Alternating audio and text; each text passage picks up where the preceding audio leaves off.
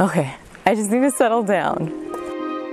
I did not go in thinking it would look like that. The epicenter of the Loma Prieta earthquake would look like that. It was a spectacular scene to see. Hey guys, what's up? I'm Abbey Fernández and I'm here with our photographer for NBC Bay Area, Michael Horn. What's up, Michael? Just a lot of trees. It looks beautiful. We're out here, guys. We're right now at the epicenter of the Loma Prieta earthquake that happened October 17th, 1989. We rode a bike up here, then we hiked a little bit. So we're gonna take you through this video, guys, so you can see what the Loma Prieta epicenter looks like now. So this all started because of Sean. He had the brilliant idea that I bicycle ride along with Michael Horn, our photographer, to the epicenter of the Loma Prieta earthquake. He was like, But I don't think you'd do it, Abbey. And I was like, Is that a challenge, Sean? Because I will take it. I can do it. I can do this. Oh, it is way different with a backpack. Morning. Good morning. Looking good. Good morning. Good morning. Good morning. Good morning. We get there to the forest. I mean, it looks pretty astonishing already, right? We're driving in. We started biking from there to where we would eventually start hiking.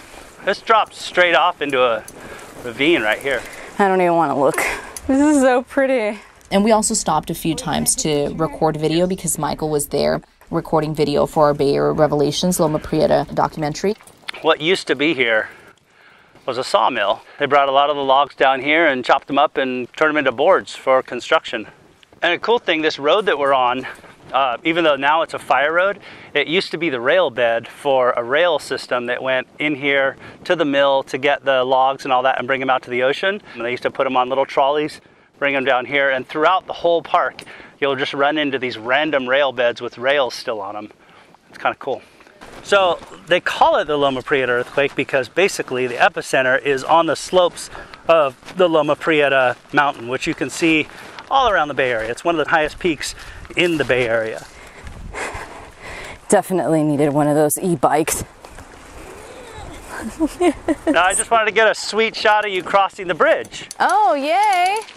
See? Then we get to that hiking place. But before we get to that hiking place, no, actually, when we were at that hiking place, we met a resident that lives up the hill. He was there when the earthquake happened. My wife was in the front door holding a newborn baby, only like two weeks old. And they're shaking in the doorway, and, and I was remodeling the house at the time, so there was a back section that had old windows that I'd taken out, and they're falling over and crashing and breaking, or looking around. But and the house was originally built in 1928, so you know we've hardly even felt the tremor since then. So uh, it makes you a little nervous. We started hiking, and it was it was a pretty nice hike. I mean, that forest is gorgeous. I think we hiked for another maybe 30, 40 minutes.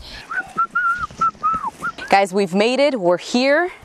This is the Loma Prieta earthquake epicenter that you're looking at here. All right, guys, so right behind me, okay, I gotta be careful here, is the epicenter. There are tons and tons of fallen trees.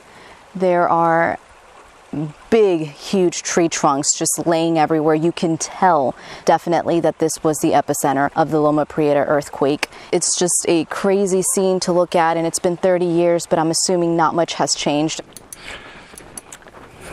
So, is this like a really popular like tourist area? Uh, tourist or forest? Tourist. Like, Yes. do people? Yeah, very popular because it's a preserved forest. Oh, don't go next to me. I feel like Oh, I'm gonna sorry. crash into you. It's preserved and managed and maintained and made to look beautiful. Couldn't make it. All right, guys, we're on our way back. I feel like I've dominated this. Doing good. Yes. Yeah, because it's like easy downhill. Thanks so much for coming along this journey, Michael. It was it was awesome. You're the best. I'm glad that I could bring you up. Check it out. Up up top, Michael. All right. Bye, guys. Don't Make forget to like and subscribe. We'll see you on the next video. Oh, man, I wish I was rolling for that. That was the first official dismount and almost I am tired. certain death.